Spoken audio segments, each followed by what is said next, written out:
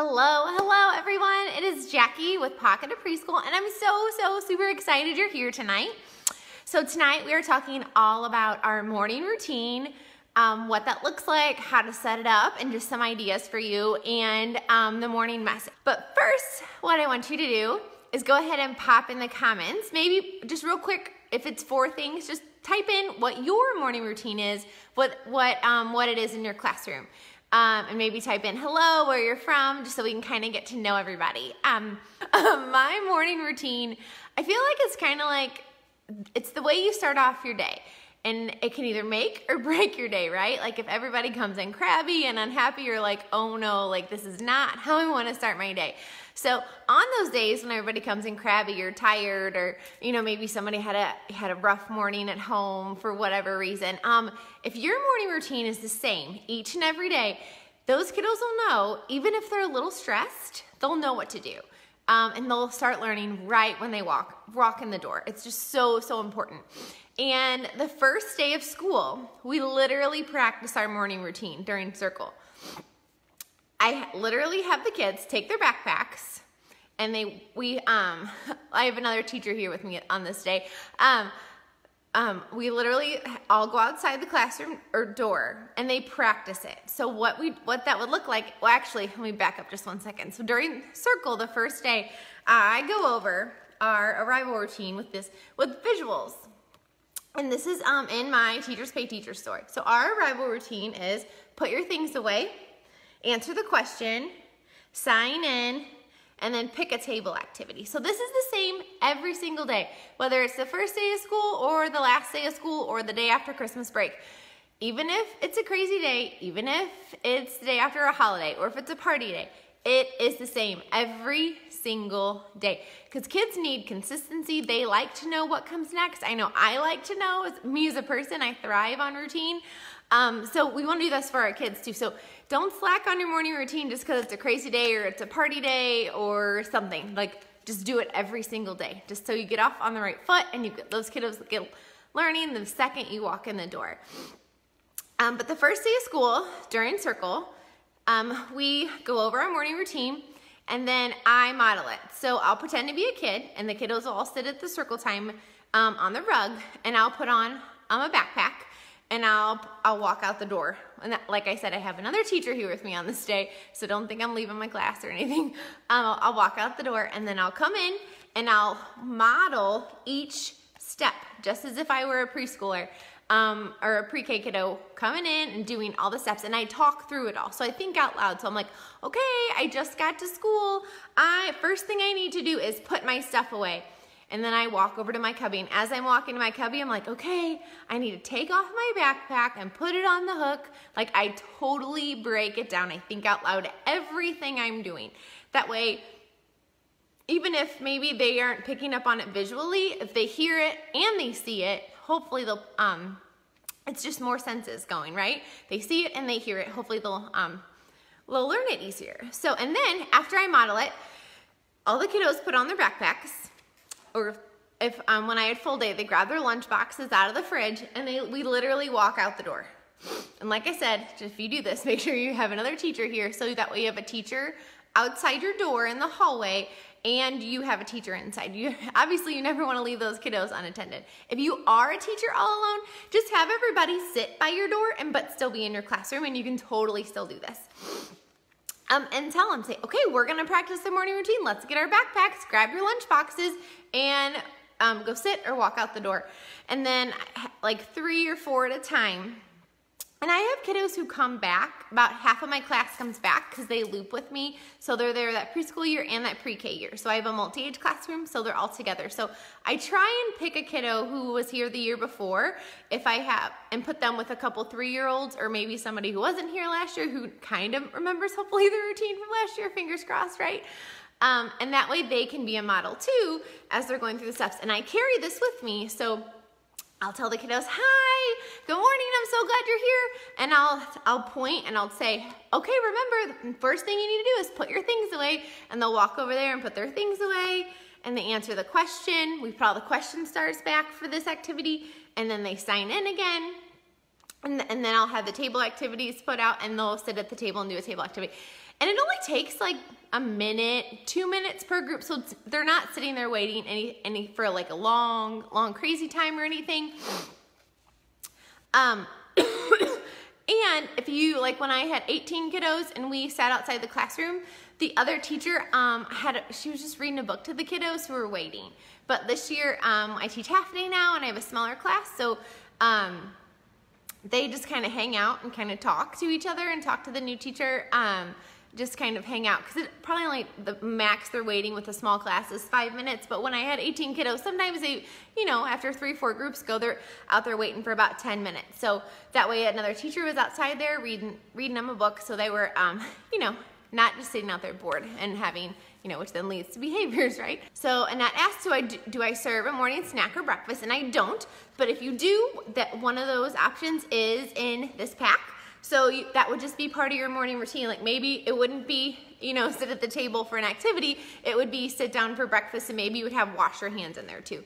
Obviously, if they're, you know, eating, they probably need to wash their hands first. So you'd have wash your hands and then um, breakfast or snack or whatever it is. So that way, on the second day of school, since they all practiced it, I've, oh, and don't forget to give them giant praise after they're done. Like it's super, super exciting that they, they did the morning routine. And then that's our circle time. Like it's nothing exciting. It's practicing a routine because let me tell you what, the second day of school, when they come to school and they know the routine a little bit better because they practiced it the day before, um, their parents are like amazed. They're like, oh, she already knows what to do. Like, and they're excited because they know what to do and they know what's coming next because they like to show off to you and they want you to be proud of them. And the second day of school, the third day of school, however many days it takes, I carry this with me and I'm like, oh, remember this, put your things away and then answer the question. So, and then this is just a ribbon. And people, a lot of people asking about this. So this is just a ribbon and it's usually, you can see, it's usually taped right next to my question, which I'll show you in just a minute, and they're on Velcro. So that way, if, a, if I need, if, if a kiddo wants to touch it, if they want to feel it, um, I can literally take it off and give it to them if they want that, if they want to hold it. You know, different years, it's different for different kiddos. So that way, you can just pull it off and give it to them if they want to. Or maybe they want to pull it off. Maybe you have a kiddo who's who struggles with the routine and maybe the other kids are okay. Maybe it's like day 10 or something. And maybe it, there's only one kiddo using this and they're pulling it off as they're going. And you know what? That's okay. Whatever you need that year for those kiddos, that's what you do, right? If there are three different times kiddos um, leave from your class, do you still do a dismissal routine? So I would, um, it would just be maybe at different parts of the day. Say, okay, um, in the dismissal routine, I have the same. I actually have it posted um, on the other side of my question of the day chart. And we don't practice that um, because it's literally do a table activity and as the parents pick up, unless I see, you know, everybody's like doing the table activity and then you know how some, some years everybody like walks around when all the parents pick up rather than saying, you know, doing the table activity or, you know, or there's a lot of people I know um, do read, read a book on the carpet um, as parents are picking up. Some years we have had to practice that. Um, be like, okay, even though there's other parents here, remember we stay at the table until our mom or dads are here. That way we don't get lost in the classroom. And it's really, you know, to, to help them you know, interact with each other and so you know where they are at all times, right? You don't want everybody wandering around the classroom at, during dismissal because I don't want anybody accidentally sneaking out the door. This year it's not so bad with 10 kiddos, but um, when I did half day with 18 kiddos, dismissed, and we all dismissed at the same time. It was crazy. It stressed me out. I was always afraid somebody was gonna sneak out because I had my back turned and I wouldn't know. Never happened, but it just stressed me out. And when I taught full day, um, our this was our arrival routine, and my kiddos came in between 7 and 8.30. Big gap of time. But they just slowly trickled in all morning and they still um, did the morning routine, whether they came in at 7.02 or 8.31. They still did um, the morning routine. And it's in my character ed bundle. So if you own my character ed bundle, you own this. And there is um, a non-rainbow um, arrival routine header too, in here too. When new kiddos come into your class, how do you get them to learn the routine? So sometimes it kind of depends on what that kiddo needs because some years if they're a pre-K kiddo and they got it going on, they kind of pick up on it because they just watch and they kind of look for those models Um, some years, if, it, if you have a young three-year-old come in, or maybe you have a kiddo who come in who is just super nervous and super anxious, that happens too. Um, I just kind of make him my buddy and I just kind of guide him through the routine and I get out the visuals again. And if one day for a small group we need to practice the um, arrival routine again, then we do it. Because you know what? It's always a good reminder um, for the other kiddos too. Because I have three, four, and five-year-olds and um, oh, the signing in process I will show you in just a second. Um, it's always good for to have a reminder, like especially like um, if you have a fall break, sometimes that day after fall break, you can take to just re review routines. Um, maybe after Christmas break, you can take a day to review routines. Maybe your arrival time all of a sudden is a hot mess and there's kids everywhere, they're forgetting what to do, um, and they're just kind of all over the place and it's just making a really rough start to your day. Scratch what you're doing for a small group and practice it because maybe they just forgot. Maybe they just need more practice because it's usually, they're not doing it, usually they're not doing it to be mean. They're not doing it to be, they're not following the routine to be crazy. Usually they're doing it because they forgot the routine or they don't have enough self-regulation to follow the routine. So maybe they need more visual supports or something like that. So figure out kind of what they need and then do that. What are the things you put in the routine? Oh, you mean for table time? I'll talk about that in just a second. Advice for, for um, parents who are constantly unpacking their backpack for their child. So that's something I've kind of given up on, I'm not gonna lie. um, some parents, it makes them feel good to unpack their kid's backpack and it's kind of like their start to the day. So usually I'll mention it during fall teacher conferences be like, hey, I really noticed that you always are unpacking their backpack. Hey, you know what? I really think they can do it independently. But some parents, it, it makes them nervous, it makes them scared, they're getting bigger, they don't like that sometimes, or maybe they're going to kindergarten next year, so maybe they're, it's more of a parent issue than usually a child issue. Um, so just talk to them at fall conferences and then maybe slip it in your newsletter if you have maybe three or four families doing it. Um, maybe um, talk to the child and be like, hey, I know your mom and dad helps me, helps you. Tell them that you want to do it by yourself and show mom in the morning or show dad or show grandma, whoever it is. Show them in the morning that you can do it by yourself. So sometimes maybe talk to that kiddo and then talk to him again at spring conferences. Um, but some parents, just, they just, they can't let go.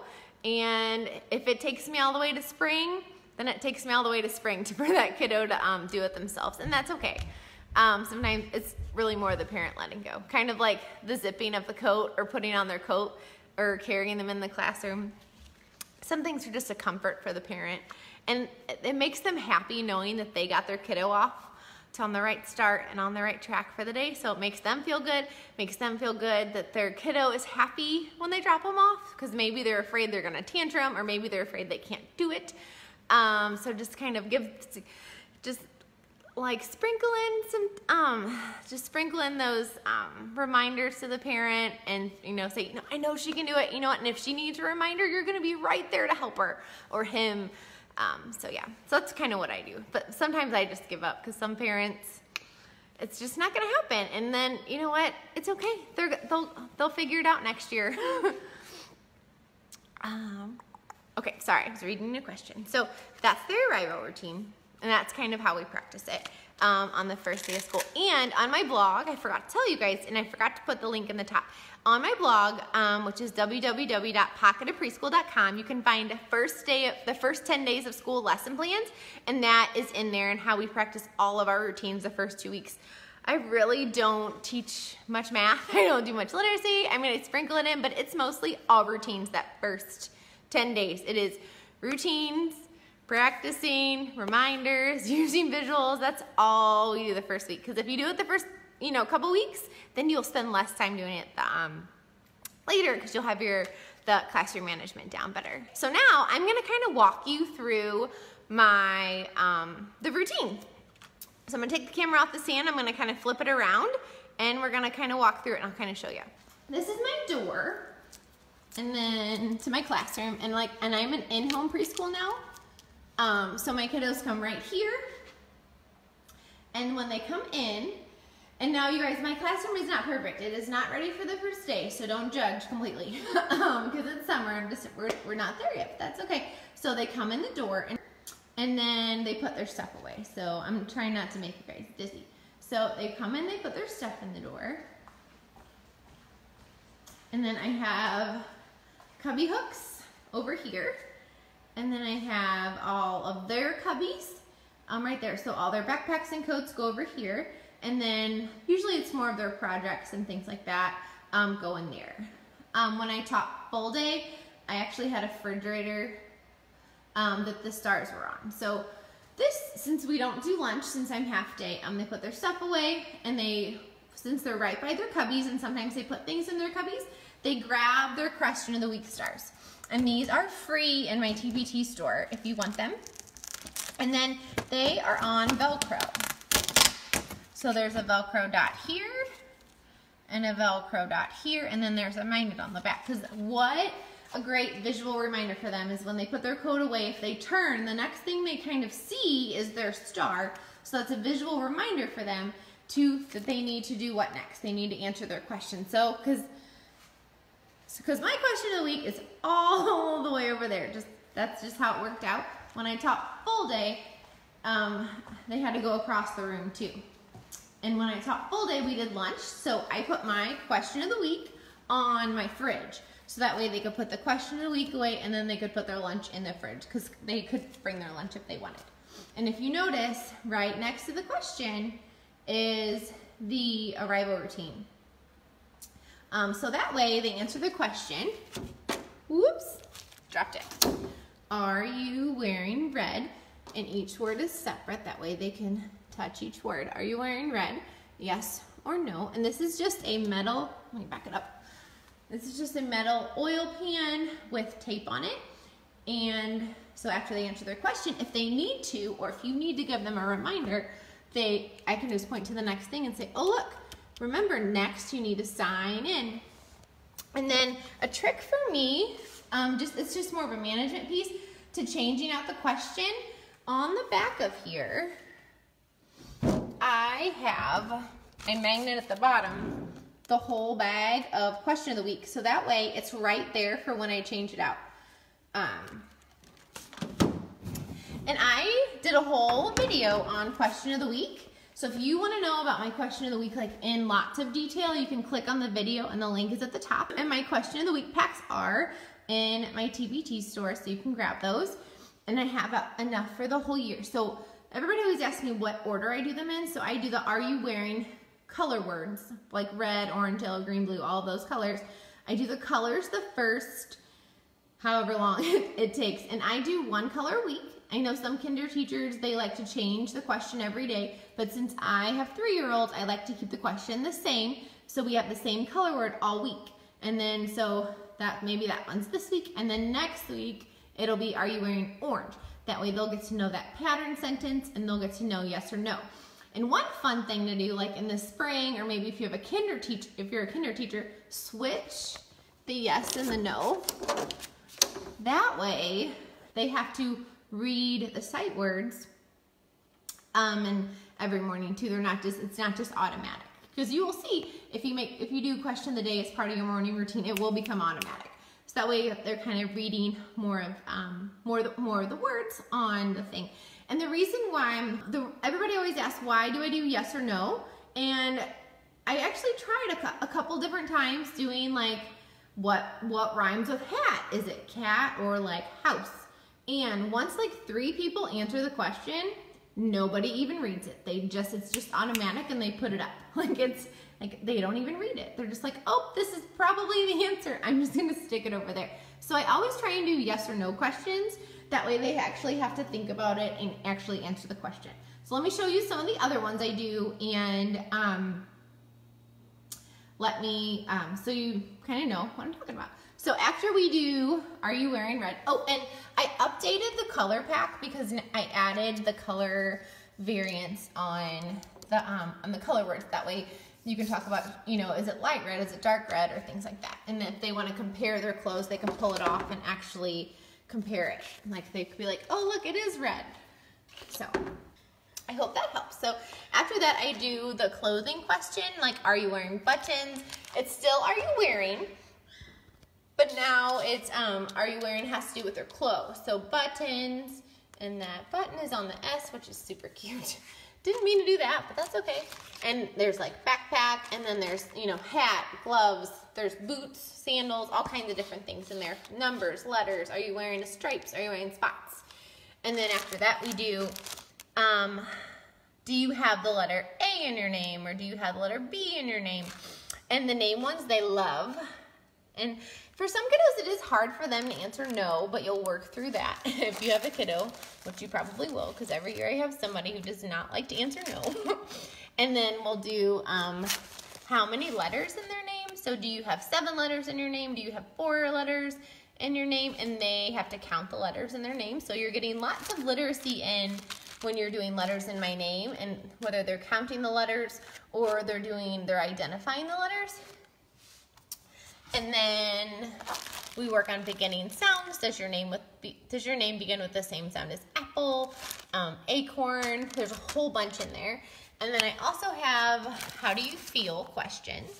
And then I also have, which a lot of teachers like this one, um, do you like, obviously I haven't printed this one yet.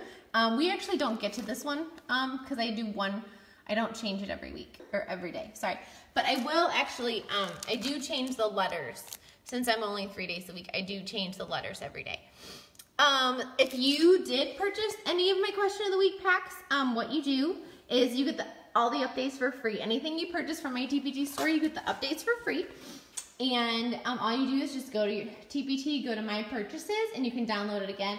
There's also a drop down that you can click. So um, you can click um, recently revised and it'll show you all the products you purchased off TPT that are revised and you can download them again for free. Um, and somebody was asking me about my playground rules. Those are in my TPT store as well. So the kids come up and do this on their own. So it's part of their morning routine. So since it's part of their morning routine, they do it independently. Well, almost, right? Sometimes the parents do the morning routine with them every day and that's okay. Um, but sometimes they say bye and they walk out the door and the kiddos do it independently. Um, and usually there's two or three kiddos answering the question at once. Um, so usually they kind of help each other and they're talking about that question or talking about like the letters in their name or the how much counting them, which is really fun, or they're comparing how many yeses or how many no's there are. So there's lots of great literacy and math conversations for question um, if they're at the question of the day chart. So they do it more independently.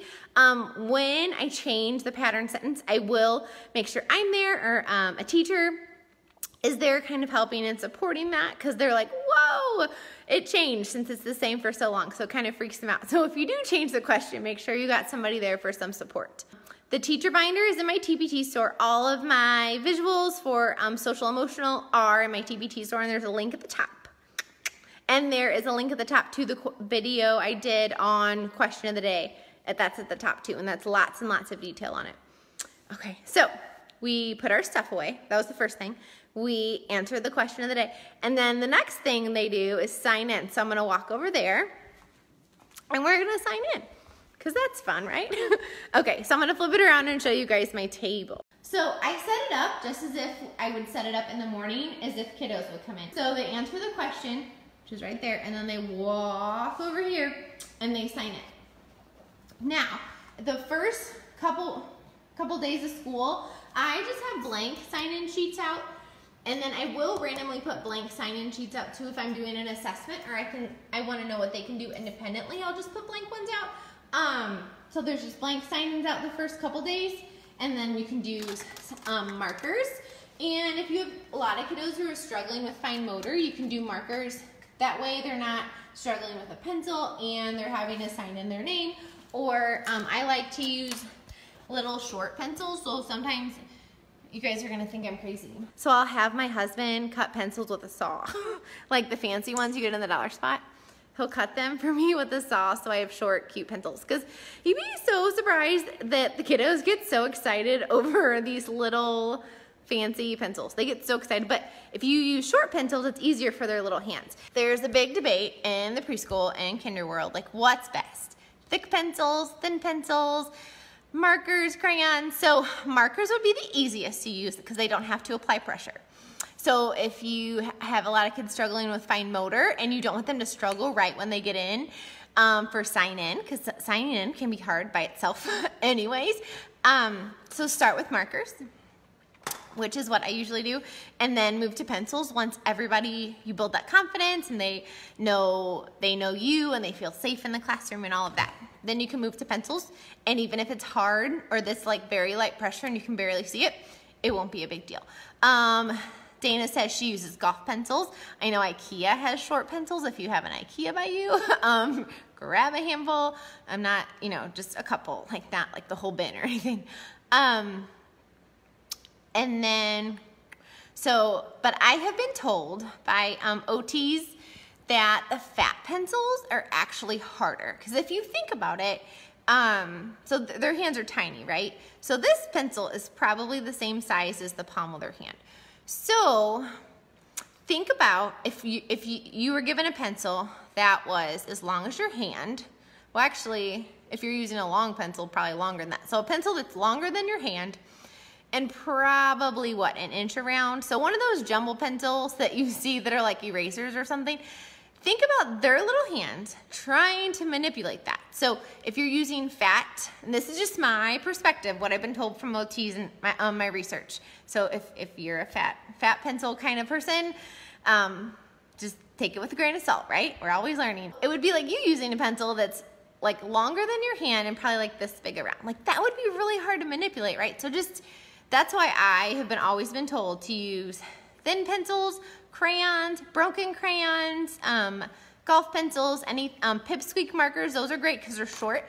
And another reason why people use golf pencils is they can't, they don't have as much to fist. So if your kiddos are fisting when they write, have that fisted grip, there won't be as much to fist. So they're kind of forced, especially if you use broken crayons, they're forced to hold it with their finger. Now it's gonna be really awkward at first, um, but that's okay. Um, it'll be awkward, but they'll just get used to it and it'll be all right. But just kind of slowly lead into that. Um, you're writing using pencils. I always start with um, markers. Just the beginning of the year is stressful enough for kiddos. I don't want them to be stressed out during the morning routine. And then when I do when I do switch to pencils or maybe you switch to golf pencils, you can always put them in an envelope and pretend you got them in the mail and say, "Oh my goodness, my friend is a kindergarten teacher. Look what she sent us in the mail. Oh my gosh, she sent us kindergarten pencils." And they get so excited. And it could be a golf pencil. It really isn't a kindergarten pencil, but they it just gets them excited about kindergarten pencils and um, signing in.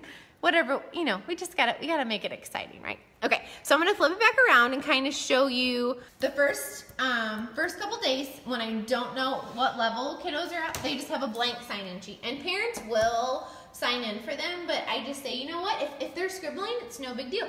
If they're just doing this, and if they're scribbling on the whole page, then it's no big deal. Like that's that's important too. And we want parents to know that scribbles are important, especially those of us who teach three-year-olds, that those scribbles are important and they're they're really meaningful for them. So we want to be like, oh my gosh, I really love that. Look at look at your name. I love it.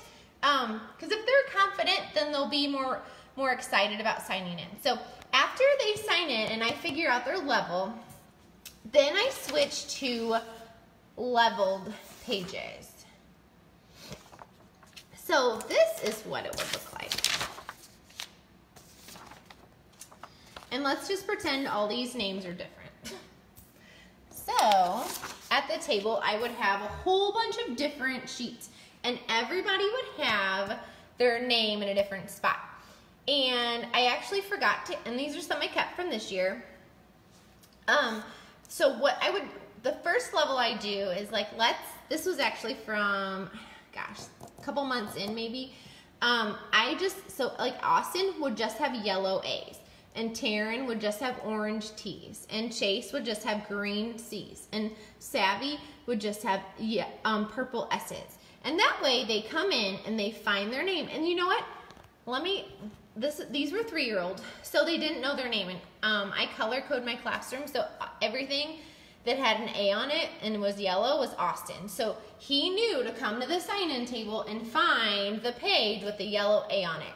And then Taryn knew she had to come and find the sign-in table that had the orange T's, and she would trace the orange T's. Now it does take them, um, you know, a little bit of, oh look, hey, come on over here. Look, I see yellow A's. That must be Austin. And if you need to like put a star on it or put a shape, or I know some people do those picture icons for each kiddo, you can put those right in here too. Um, these, this font is Miss Kindergarten. It's a free font on TPT. So you can download it and install it. I love this font. It's my favorite like kid print font because all the letters are like the right way. They're not like a crazy lowercase a or anything. Do you put their names with it? So their names are right here next to it. So I don't put name cards out or anything. Their names would just be right here next to it. So they're lowercase and then it would be like orange tees to start out. And I do have a blog post all about signing in that shows you kind of the first level, which I totally forgot to keep last year. Um, and I'll pop that in. It's on my blog. I'll pop it in after it's over. So this was months in and everybody, this, this group of kiddos got really good at writing just their first letter. So if you'll notice, he's only writing four of his letters. So I didn't go from writing just A's to writing his whole name. I switched to just four letters. That way, he's only having to write four letters. And if you guys have watched me on Facebook Live before, you know I talk a lot about motor memory and writing letters the correct way. And I don't make it stressful. And in order to make it not stressful, we only work on a couple letters at a time. I don't, you know, if their name is, I don't know, Jacqueline, like me, when I was little, I wouldn't put out that whole thing because I had nine different letters to write. And I, if I'm three, or if I'm four, or if I'm at kinder, maybe not kinder, but if I'm a three or a four year old who's never um, been exposed to letters before, I'm probably gonna not make them correctly. And every time I make them incorrectly, it's developing the incorrect motor memory. And motor memory is when your body just remembers how to do something. So it's kind of like when you go to yoga and the first time you do a pose, it's hard, and each time it gets easier, it's because your muscles have motor memory. I love motor memory, so fun. Um, so yeah, so that's why I went from just one letter, they switched to just four letters in their name. And then once they get this down, then they trace all the letters in their name. And, the, and while we're doing this, well, we would also be doing, you know, name activities during small group, during table time, during all of those things, um, all the all the different parts of the day. So they'll we'll be working on these letters too in other parts of the day. So we don't just work on names during sign in. And then, so after that, I actually remembered to keep this one. So here is what I put out maybe a couple months later whenever they're ready. And this is just for this group of kiddos.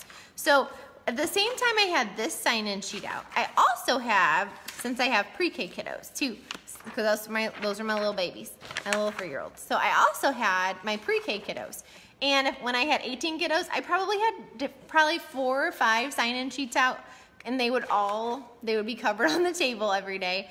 Um, and if you're if you don't get a lot of paper, put these in a dry erase pocket, and that way they can write their name and you can just erase it, and you don't have to um, have a whole bunch of paper copies, which I actually might switch to next year, um, just to save paper. Um, but they they could write their name independently. So I'm not gonna have them trace because that's wasted, right? They can do that already. Like why am I having them practice that? So I had them practice writing their name just in uppercase. And I work, we focus on uppercase the first half of the year, and then the second half of the year we um, start working on those lowercase. Because like I said, I we were I that motor memory. I really want them to be making those letters correctly. So I don't switch to lowercase until we have those uppercase letters down pat, and they're confident with those because it's also part of development, right? They, they make a straight line before they make all the curves and all those fancy, um, fancy different things. Um, so it's easier to make the, the capital letters. They see them more in the environment. They recognize them first. Um, you know, like Target, it's in all caps. All the environmental print, if you look around, most of that is all capital letters. So we focus on capital letters the first part of the year. And then the second part of the year, we switch to lowercase. Some, most of the time, I pre-K kiddos do just fine and they transition and it's not a big deal. So then they would um, transition to, it would, and I forgot to keep this. I need to keep some next year. Um, they would switch to, and it would be just their names. It would be in lowercase and they would probably be tracing their name first to make sure they're writing it the, um, all those letters the right way. After they got their first name down in lowercase, then I do first name, last name in lowercase. So that way, by the time they go to kindergarten, they're writing first name, last name, all in lowercase. So that way all my kindergarten teachers are happy and they're not mad at me that all these kiddos are coming to kindergarten writing in all uppercase because I don't want, I don't want that either. Don't worry, kinder teachers, I am here for you too, I promise. But I also know that three-year-olds, capital letters are hard and I don't want my kiddos frustrated. So, and if you do lowercase, it's totally up to you. I'm just saying, this is what I do. This is my jam. Don't don't get mad at me, especially my kinder teachers out there. So first thing we did, they put their stuff away and then they grabbed their question off their cup. Questions are off their cubby. They did the question of the day. They signed in. Oh, one more thing about sign in. Parents will not like you if you have one sign-in sheet for 18 kids.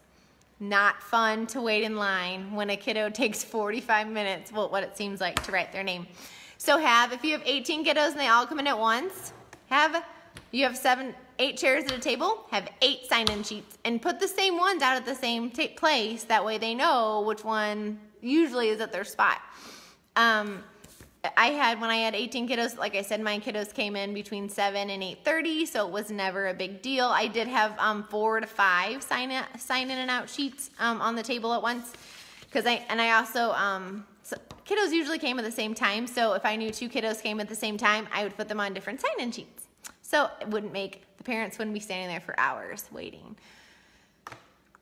How many kids do I have in my class? So in my full day, I taught full day, 12 years, and I had 18 kids up to 25 on my roster because they could pick what days they came to school. How much fun is that? We all know that would be crazy, right? It was crazy, but it was a lot, a lot, a lot of fun. So I had 18 kids up to 25 on my roster. Um, one year I did up 25. That was crazy.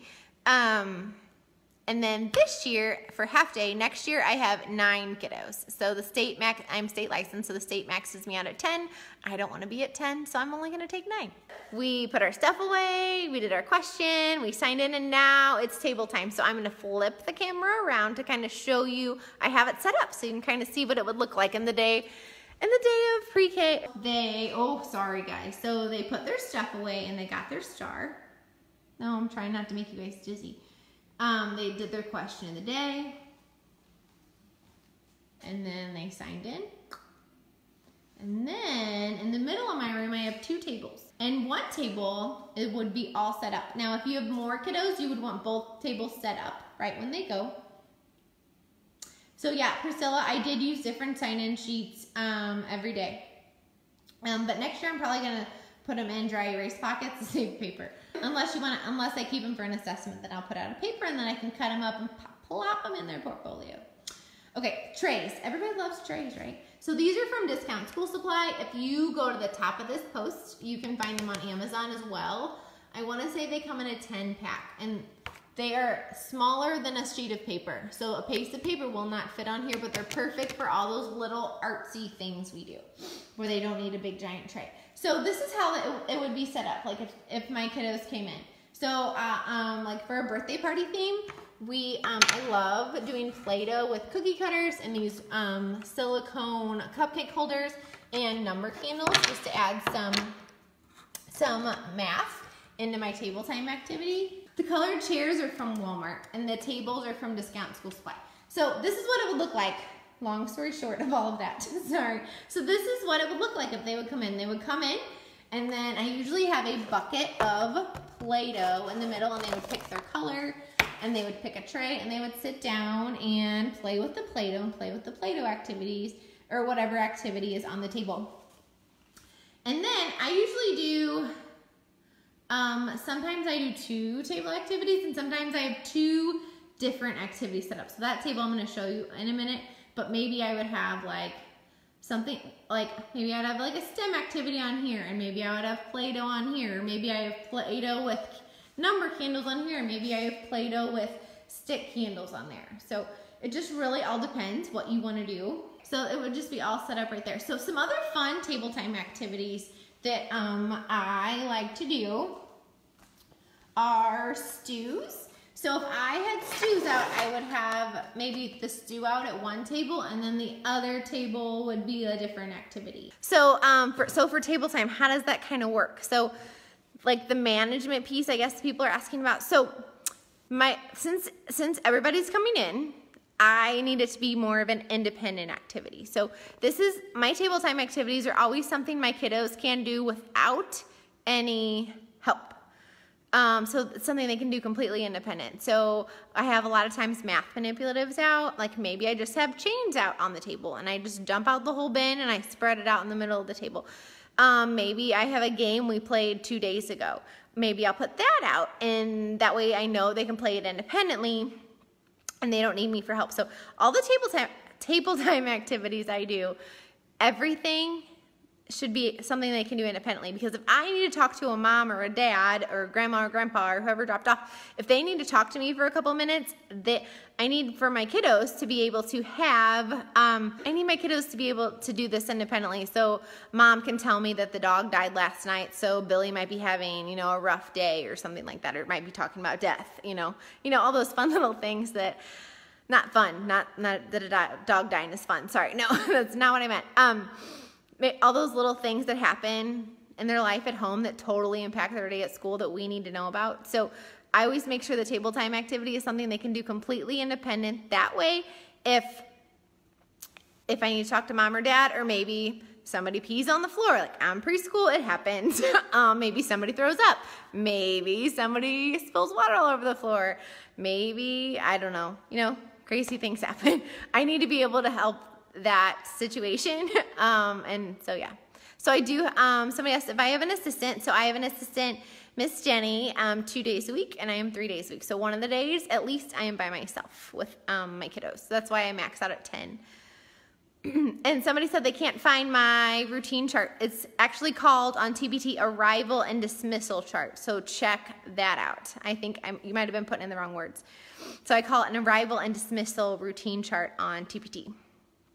Huh, Brianna says her kids throw Play-Doh everywhere. Well, do a small group on how to play with Play-Doh and or don't put out tools. Say, you know what? We're gonna practice playing with Play-Doh appropriately, and when you guys show me you can do that, I will put out fun stuff we can use it that we can use with it. And maybe like, oh, look at these look at these candles I got from the dollar store. Oh, I hope we can play with Play-Doh appropriately. So, or I hope we can keep all the Play-Doh on the table today. Um, so that way, um, that way really cool things tomorrow. So try that. Um, so I'm gonna flip the camera around and show you a couple more things that are fun for table time. So give me one second. So I put out, these are my counting stews, and once kiddos play a couple of them, they kind of have it down pat. So if maybe I had Play-Doh at this table, maybe at the end of this table, I would have out um, the birthday stew, and they would just do the stew game. So any game that you have played um, with your kiddos and you know they can do independently or kind of independently and you don't mind if they, you know, kind of make up their own rules to it, then put it out for table time. Um, a lot of fun fine motor activities with tweezers. Um, so um, I have a whole bunch of different kinds. So maybe it might be like, I don't know, um, I can't think of anything off the top of my head, but any kind of like, oh, maybe like pom-poms and um, and like those ice cube trays, maybe in some tweezers. So put those out for table time. And I always, you can see how I kind of just put it out in the middle. My table time activity is always spread out in the middle to kind of make it look more inviting. It never looks Pinterest perfect. I see all these people that have these amazing setups with the, like flowers and whatever it is. Um, I don't, my invitation to play table time activities looks like this. It's not Pinterest perfect at all, but that's okay because it's, it's a classroom, right? Um, sand and writing trays are fun once you introduce them, and I just put one out at, at each at each table and put some letter cards in the middle, and they can make their letters. They love that. Obviously, you want to make sure you teach how to use the materials that are out for table time before you put them out. Don't put something out for table time that you have never introduced to your kiddos because they could throw it just out of excitement. Uh, maybe they're like, um, like if you put out these sand trays and they've never had them before, they're gonna go like this and like sprinkle it everywhere. They're not gonna know like automatically that they're supposed to write or draw in the trays or how to erase or any of that. So anything you put out for table time, make sure you've already introduced it at least once during um, during small group or during centers or during circle or something. Okay, so another thing I like to put out are things from my center pack. So this is my school themed center pack. So I have like these Play-Doh cards, and if you go to my TPT store and just um, search school centers, you can find these. But these would be fun to put out, so you could just put these out and just put out one on each on each name, and then put extra ones in the middle. Oh, and you could do um, any kind of letter work like that. Any of the name activities we've been talking about on Facebook Live for the past couple weeks are always super, super fun. Um, you could put out just, um, I like to put out words in the middle and just some paper. And I just put one piece of paper at every chair and then they can write the words and just put out some markers and just different supply buckets in the middle of the table maybe, where's my button game? So this is just um, a button game you can play. So put out buttons and dice. So put out one card at each table or at each chair and then the dice in the middle. Or if you want to differentiate, um, put these out and then you just have the bucket of dice walk, walking around with it. And then they have to get the dice from you. That way they get the right one and um, they, they can play the game. Um, it's, okay, so I'm gonna walk over here and I'm gonna show you one of my tricks to making table time easy to get out and put away. So at the top of my cubbies, and sorry it's a little blurry again guys, I think. Um, at the top of my cubbies, this is kind of all of my go-tos. So I have in here, I have chalkboards, and there's chalk in here, just in those little cups from the dollar spot. And then these are just like um, cookie trays from the dollar store. I have buckets with markers and marker boards. I have my dry erase boards and I have letter stamps. And then I have kind of right here in these two cubbies, I have lots, oh, I can't turn it, sorry. I have lots of math manipulatives in here that we use a lot for table time and small group. Um, these I just got. How fun are these? They're like little stackable counters. You can use them for graphing or counting. Um, here's some, you know, magnet numbers. And then in the group, there are these just basic 10 frame mats that are really, or these are 20 frames, sorry. I have 10 frames too. 10 frame mats.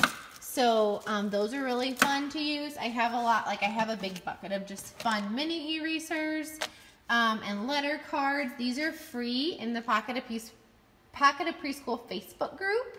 They're just the mini eraser um, pack. It's free just for the group people. You guys, could you guys know I love you? Like, and I have, y'all know I love, whoops, like, can you see them? Sorry. These like letter um, beads, and I have the pipe cleaners and the string on the top. Um, I have their name mats right over here. I have extra white name mats. So maybe I want to do a name activity. So I keep a lot of that stuff. Oh, and in here, I know some people um, like to use these for their for their writing trays. I keep kinetic sand in here because you can use letter stamps with them. Um, they can build like with um, popsicle sticks in them. They're just, it's just really a fun way to keep um, this kinetic sand and it doesn't get all over the floor as bad. Um, so yeah, so these are just pencil boxes I got. I literally got these from Walmart because a couple of mine had broke. And then I just keep enough for one table in here. But that way I can literally, nine out of 10 times, a lot of the, the manipulatives I use, I use from right in here and I can just plop it back up on the shelf and I don't, it's not like anything big I have to um, put away. And table time, a lot of people think it has to be this big, crazy, exciting thing and it doesn't. Like if you're, a lot of my table time is related to my theme. So if we're doing a campsite for pretend, maybe they're, you know, coloring all the stars. Maybe they're painting all the stars yellow. Maybe we're doing a pumpkin patch and we need a tractor or a hay bale. So they're painting a box. Like to cover, your table with a, um, like, I, I just use an old white sheet that I cut in half. And then I put the box on top and just put cups of paint out and they can paint the box. Um, so you can make pretend props for um, table time. You can do math and literacy games they've already played. You can do name activities. You can um, put out, so you can literally pull stuff out that you already, like maybe you have, um, you've noticed that nobody's really playing with these letter popsicles. Put these letter popsicles out for table time because maybe they just forgot you had them. Put those out. Put out some letter locks. Put out, you know, letter, those letter robots from Lakeshore. Um, put out put out some letter stews and just put them out on the table and maybe two kids can do one. Two kids can share a board and a pot. You can also just put out math manipulatives. Like these are just translucent um, shapes. So you can just put those out. And you can just put out chains, just put out, I just got these. How fun are these? These are like brain, what are these called? Brain flakes, I think. So brain flakes for STEM just put out some counters. So any math manipulative, just put those out at the table and let them explore. Because a lot of preschool is exploring all the different math manipulatives. Because there's so much you can do with, with chains. Just if you just put them out and give them time to explore. Um, put out, if you're, you know, learning about how to use magnifying glasses, just put out a magnifying glass at each um, each chair and put out some seashells in the middle or put out some rocks in the middle. It doesn't have to be anything crazy. You can also um, put out seashells in the middle and magnifying glass or whatever nature thing you're doing at the time. Um, and just put out a little clipboard at spot and they can draw their discoveries or draw what they see, draw their observations. Another fun thing to do for table time is STEM. Um, these are my STEM bins. And when I start the year, I bet only three of them are full, um, or two, probably three or four. It just really depends on how many three-year-olds I have.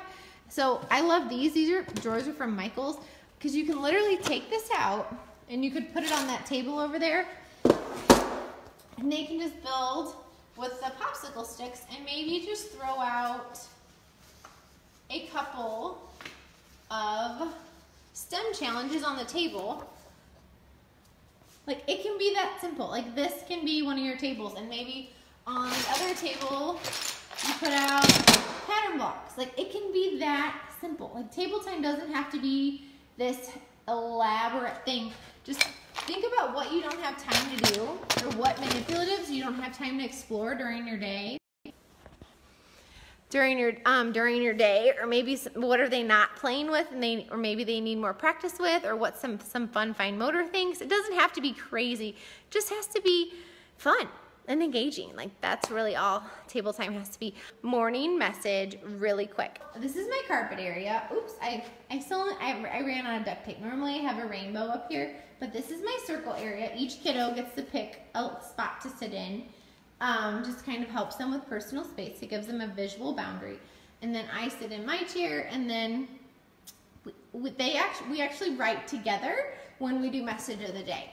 Um, so I, what I usually do is I'll say a sentence first and then I write it like, tonight is Facebook Live. Like, let's say our my message is that.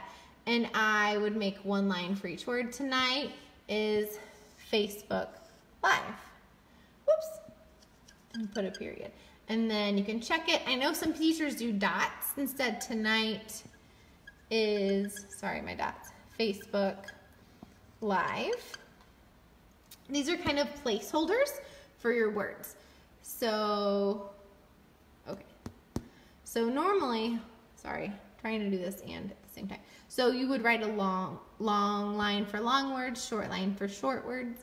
So, and then I would go back and fill it in. Tonight is Facebook live. And maybe, maybe I would ask the kids. And I, it, each time I do the message, I work on a different skill. So I might be like, live. What do you think live starts with? And they would be like, L. And I would write, okay, and L goes line down and then live. Maybe you want to work on ending sound. Um, and I know some, that's just how I do it. I know some teachers um, write the message and then maybe they'll give the marker to a kiddo and say, oh, the word is, that's one of our sight words. It's like, Bobby, come up and will you write the word is? And maybe Bobby comes up and writes the word is. And then you, the teacher finishes the rest. So it's called sharing the pen. So you can share the pen um, during the message of the day. You can also write it and maybe circle words we know, like that's is, or maybe if, if you have um, three-year-olds, you can be like, oh, look, F. Oh, Frank, look. Maybe you have a Frank in your class, I don't know. look, look, I see an F. Are there any other any other letters we see that anybody else's name starts with? And you'd be like, oh, Bobby, oh, look, here's a B you know, or you can trace it. So just writing the message, um, you can either um, write it, you can share the pen, have them help you. Um, I know some teachers also like to, after they're done, they put a dot under it and they let kiddos come back up and um, they have the kiddos help read it and you can use a pointer or um, their finger and they can be like, tonight is Facebook Live. And so they can come up and read it after it's done. Um, so my morning message, I just write with them, and it's usually something that's either happening that day or something that has already happened, um, or maybe something that's going on at the time. Like last night, we had a storm because you guys know storms freak out kiddos, and some some of them get loud and crazy, and makes them nervous, and that's what they're thinking about. So my message might be about a storm that day because that's what that's what's on their mind, and we want my message, I want them to know that we can write about anything. It doesn't have to be the same thing. It doesn't have to start with the same word every time. Um, and it just, it shows them, you one, you're modeling writing, and you're modeling reading the words to them. You're modeling how to form the letters.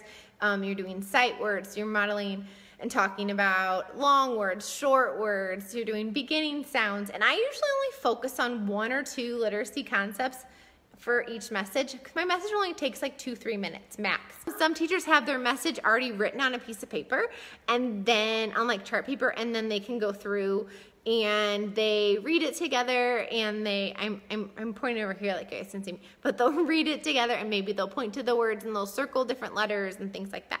So it's up to you kind of how you want to do morning message, but I love morning message because it, it, it's just another way to sneak in more literacy and I do it at the beginning of circle time. That way I know they're focused because it's the beginning.